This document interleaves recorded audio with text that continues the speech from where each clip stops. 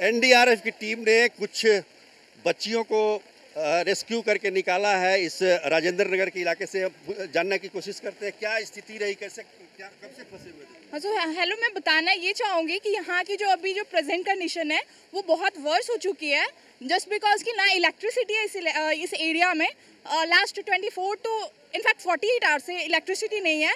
So water problem बहुत ज़्यादा है मतलब पीने की पानी भी अब अभी अवेलेबल नहीं हो रही है। और खाने का भी बहुत ज़्यादा प्रॉब्लम हो रहा है। मतलब अब जो भी स्टोरेज थे तो वो स्टोरेज अब खत्म हो चुके हैं तो खाने में खाने के लिए भी मतलब फूड्स अवेलेबल नहीं हो पा रहे हैं।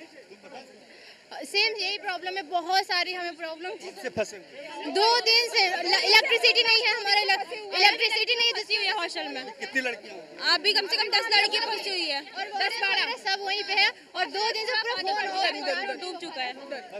हाँ वो ग्राउंड फ्लोर पूरा पानी यहाँ यहाँ तक पानी डूब चुका है और बहुत ज़्यादा पानी और हम लोग के हॉस्टल में भी बहुत ज़्यादा पानी और बहुत सी लड़की बची हुई है। तो प्लीज़ हम रिक्वेस्ट करते हैं कि उन लोग को भी बचाया जाए। बिल्कुल तो ये बिजली मोहल्ला में बहुत पानी है एक्सेस पानी है इतना इतना पानी है। हम लोग के घर में बस इतना इतना पानी जाएँगे आप पूरा ओवरफ्लो हो गया अंकल पूरा ओवरफ्लो क्या बजाज चौकी अंकल जी अंकल तो ये पूरा इलाका पानी में डूब चुका है और जिस तरह से आप देख सकते हैं किस तरह से लोग जो हैं वो जिनको बचा कर लाया जा रहा है। पिछले दो दिनों से लगातार ये लोग फंसे हुए थे। बिजली नहीं है इस इलाके में। खाने पीने की दिक्कत है। तमाम मुश्किलें हैं।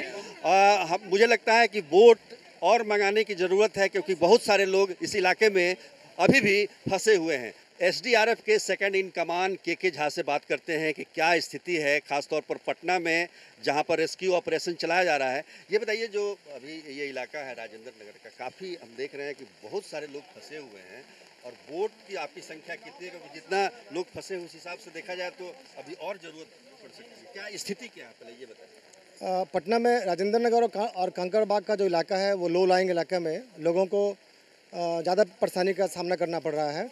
खास करके जो यहाँ कई तरह के गर्ल्स हॉस्टल्स हैं, वहाँ पे लड़कियों को खाली कराने की समस्या आ रही है। वो लोग अपने अपने घर जाना चाह रहे हैं गर्ल्स हॉस्टल में से।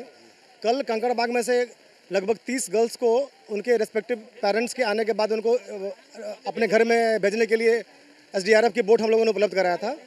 आज आज कंकड़बाग और राजेंद्र नगर के इलाके के लिए पटना डीएम ने छः अलग अलग टीम बांट करके उसमें एसडीआरएफ और एनडीआरएफ के ट्रुप्स को लगाया है।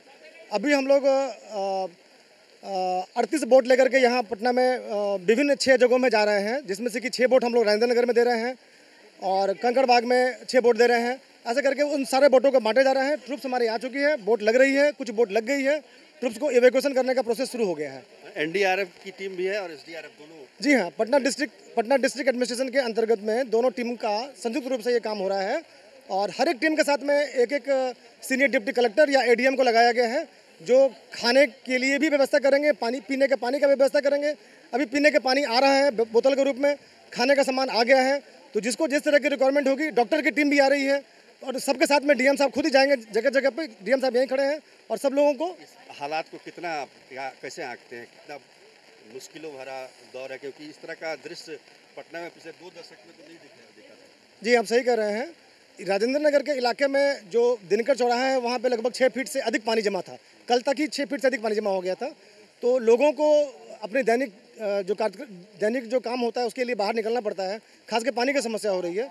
तो स्थिति तो बहुत ही खराब होती जा रही है।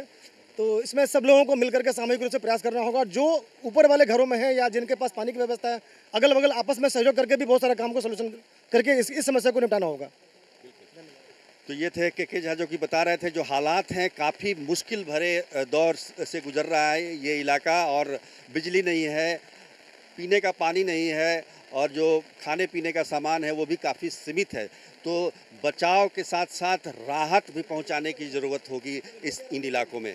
कैमरामैन दीपक कुमार के साथ सुजीत कुमार झा, पटना, आज तक।